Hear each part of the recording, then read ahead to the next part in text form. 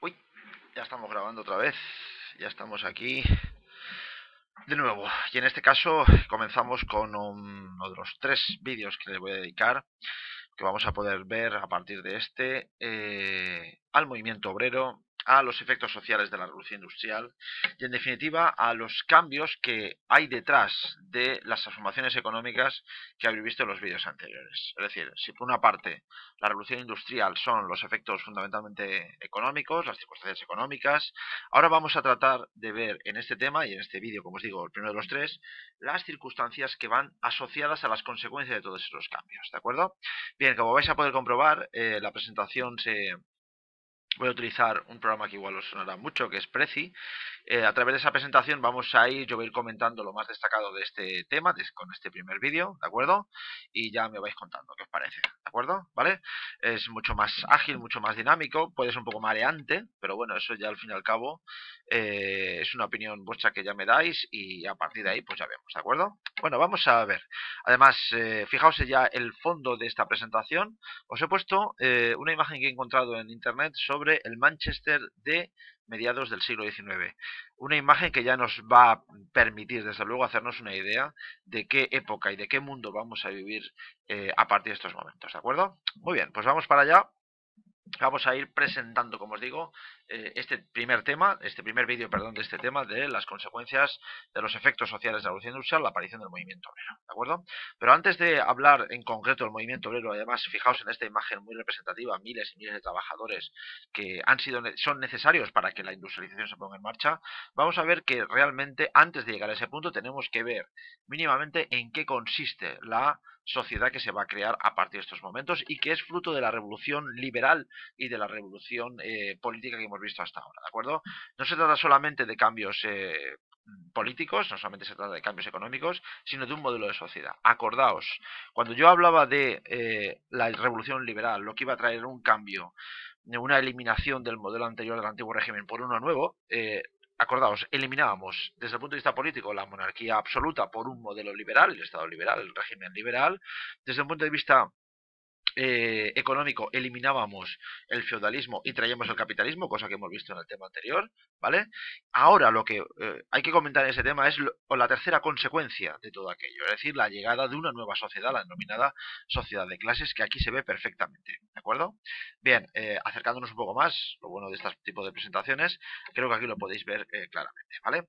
Estamos hablando, por lo tanto, de una sociedad de clases en las que libremente uno puede ir moviéndose entre grupos sociales, cosa que antes no ocurría. Acordaos, cuando en el antiguo régimen uno hacía campesino, moría campesino. Sin embargo, aquí no. Eh, la nueva sociedad se basa fundamentalmente en lo que uno puede llegar a conseguir, en la valía personal y sobre todo en la valía económica. Tanto tienes, tanto vales. Y ese principio el de la sociedad de clases, que permite la movilidad dentro de esas clases, lo vamos a encontrar aquí. Acordaos, la burguesía, aquel grupo social que mm, en el siglo XVIII no podía acceder al poder, ahora lo está haciendo. Pero también es cierto que eh, un grupo que en el antiguo régimen disfrutaba de muchos privilegios, que era la, aristocracia, diríamos que se ha adaptado a la nueva realidad. Es verdad que ya no cobran ningún tipo de eh, impuesto por tener un dominio jurisdiccional, porque ya sabemos que eso la revolución industrial y la liberal lo ha barrido por completo, pero diríamos que se asocian con la burguesía. Hay una especie de mimetismo entre estos dos grupos sociales que acaban formando lo que sería la élite de la nueva sociedad eh, liberal del siglo XIX.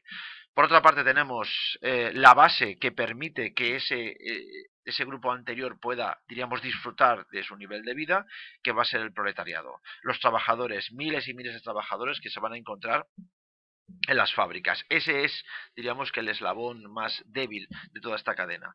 Y no nos podemos olvidar de los campesinos, porque los campesinos van a ser, por una parte, eh, una fuente de mano de obra proletaria y una fuente también de una actividad que poco a poco irá perdiendo peso, que es la agricultura, pero que eso no significa que desaparezcan, aunque su tendencia, y desde luego ya si llegamos al siglo XX veremos que realmente el, cada vez hay menos población dedicada a la, agricultura y por lo tanto menos población dedicada o, como campesino. ¿De acuerdo? ¿Vale? Así que esta es la sociedad de clases, una sociedad basada en la desigualdad, en la incapacidad que unos van a tener de poder adquirir recursos y poder cambiar de, eh, de estatus, pero que a diferencia de lo que ocurría en el antiguo régimen, diríamos que esa posibilidad de poder cambiar eh, existe, porque no está vedada por una cuestión de nacimiento o de estamento social al que pertenezcas, ¿de acuerdo? ¿Vale?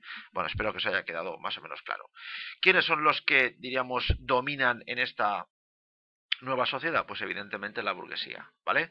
Aquí tenéis dos imágenes muy ilustrativas de lo que significa esta nueva élite de la sociedad. Los hombres de negocios, los, eh, los que viven, diríamos que con una capacidad económica muy superior al resto, los que han puesto en marcha la revolución industrial que hemos visto en, la, en, en los vídeos anteriores y sobre todo en el tema anterior. Esa burguesía de los negocios, la burguesía comercial, la burguesía que tiene ahora poder político, que está en los parlamentos, que hasta 1848, gracias al sufragio censitario, consiguen controlar eh, desde el punto de vista político y desde el punto de vista eh, parlamentario las leyes que ellos mismos eh, se ponen en marcha.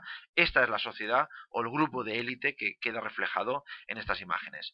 Os he querido añadir también esta imagen porque un punto importante también en cuanto a lo que sería la nueva sociedad tiene que ver con el papel de la mujer.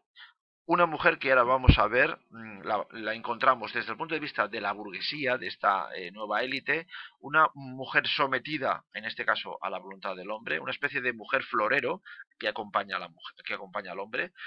Eso mismo vamos a encontrarlo también en, en otros sectores sociales, pero con doble carga. También vamos a hablar de las mujeres en el ámbito proletario y tendremos que esperar a finales del siglo XIX, principios del XX, cuando ese papel de la mujer vaya cambiando poco a poco, ¿de acuerdo? Pero es interesante poner esta imagen porque es muy ilustrativa también de esa realidad. ¿Vale? Por lo tanto, estamos hablando de una sociedad mm, repito, que puede permitir cierta movilidad, pero que eh, de alguna manera determinados grupos son heterogéneos. ¿Os acordáis de la burguesía? Yo os decía que era un grupo heterogéneo, bueno, pues aquí lo tenéis, ¿vale? Alta burguesía, lo que llamamos la oligarquía, los, los eh, repito, los hombres de negocios, los que tienen un mayor nivel de vida desde el punto de vista económico. La burguesía que en su momento desde el punto de vista político defendía más, por ejemplo, el sufragio censitario, ¿vale? Plutocracia es un sinónimo de oligarquía, lo tenéis en el libro de texto, por cierto, ya hablo precisamente de eso, de dinero. Lo que destaca es la aparición de las clases medias. Eh, de hecho, la clase media es un concepto que surge en el siglo XIX. De momento son pocos, pero poco a poco se va extendiendo. Y de hecho, en el siglo XX va a ser el grupo mayoritario. Las clases medias son, por ejemplo, las profesiones liberales, los que tienen eh, diríamos, determinados recursos económicos sin alcanzar el nivel de la alta burguesía, pero que viven de una manera más cómoda. Eso se diferencia, por ejemplo, del último eslabón de la burguesía, que son los pequeños burgueses, que son los pequeños propietarios, el, que tiene un taller, el que tiene un pequeño negocio, ¿de acuerdo? Por lo tanto, como ya pudimos ver hace ya tiempo, si la burguesía no es un grupo heterogéneo, es un grupo, perdón, no es un grupo homogéneo, es un grupo heterogéneo y diverso, eso también lo hemos visto sobre todo desde el punto de vista político, ¿de acuerdo? Bien, eh, dejamos las élites de la sociedad y nos adentramos, diríamos que el, el, verdadero sentido de los efectos sociales de esta revolución. Más que primar o dejar de contar quiénes son los que les ha ido bien, vamos a ver a los que les va a ir mal, o mejor dicho, los que van a, eh, gracias a su trabajo y gracias a su situación, los que va a permitir que otros les vaya muy bien. Aquí hablamos ya de una expresión que aparece por primera vez, que es proletario o proletariado. El proletariado es el conjunto de trabajadores que, eh, diríamos, llenan las fábricas en el siglo XIX. Lo importante no es solamente el proletariado, el ser trabajador, sino ser consciente de ello. Y ahora veremos que esa es una cuestión clave, porque la aparición del movimiento obrero tiene que ver con el hecho de ser consciente de qué es lo que soy para a partir de ahí tomar las decisiones más oportunas para cambiar mi situación. ¿De dónde sale el proletariado? Campesinos, muchos campesinos que dejan el mundo rural y van a las ciudades a buscar trabajo, artesanos que han desaparecido, el sistema doméstico, pequeños campesinos que tenían un pequeño negocio dedicado a la producción artesanal que también ha sido borrado del mapa gracias precisamente a la revolución industrial. ¿De acuerdo? Bien, si este es el panorama general, nos adentramos, por lo tanto, a ver eh, lo que explica la aparición de, de ese proletariado y de esa toma de conciencia de esa situación. Jornada laboral, condiciones laborales, condiciones salariales, disciplina, despidos, ausencia de cualquier tipo de derecho, pobreza. Estas son las circunstancias que hacen que los trabajadores del siglo XIX sean conscientes de cómo están y decidan en un momento determinado pasar a la acción. Vamos a detallar algunas de ellas, ¿de acuerdo? ¿Vale? Por ejemplo, esta que tenemos aquí. Explotación infantil. Eh, Estas dos imágenes son muy gráficas. Niños que en el siglo XIX trabajan en las minas, trabajaban en los pozos de petróleo. Por cierto, trabajaban en las minas porque sus manos eran muy pequeñas y eso les permitía eh, ser utilizados en, aquellas, en aquellos lugares de las minas donde los hombres adultos no podían entrar. Además, los niños eran utilizados como mano de obra porque eh, no se quejaban, cobraban menos y eran más dóciles. Esas son las razones de la explotación infantil. Y no solamente eso, sino que además la legislación de aquella época, es decir, las leyes, no prohibían la explotación infantil, cosa que hoy sí que ocurre. Y esto llama mucho la atención, ¿de acuerdo? Por cierto, en algunos países de hoy en día, como ahora vamos a poder ver en esta imagen, esa circunstancia se da. Y de hecho, os la he puesto porque, y además os he puesto ese título, porque había que preguntarse si sobre este tema, igual que otros, las circunstancias han cambiado. Y parece ser que en eso que llamamos la explotación infantil, no. Esto es Bangladesh, esto es eh, en el sur de Asia, niños de 4 o 5 años que, como podéis ver, trabajan con una maza picando piedra durante 10 horas al día. Este es otro ejemplo, la explotación infantil, pero también de las niñas. A la imagen de la izquierda tenéis una niña trabajando en una fábrica textil de finales del 19. A la derecha tenéis una niña trabajando en una mina brasileña. ¿Hay alguna diferencia? ¿Hemos cambiado algo? ¿De acuerdo? Fijaos de todas también los rostros de estas dos imágenes, porque son dicen mucho sobre lo que significa precisamente la explotación infantil. Estamos en el siglo XXI y eso todavía no ha desaparecido. Los malos tratos. Eh, a los niños se les pegaba, a los trabajadores se les maltrataba en general, pero sobre todo a los niños, por las razones que hemos dicho antes. ¿De acuerdo? El trabajo femenino. Muchas de estas mujeres trabajaban en las fábricas, daban a luz en las fábricas y casi criaban a sus hijos. Además, por una serie de circunstancias que ya hemos visto, eh, el hecho de que eh, los salarios fueran muy bajos casi obligaban a que desde eh, muy pequeños los niños trabajasen para contribuir al gasto familiar.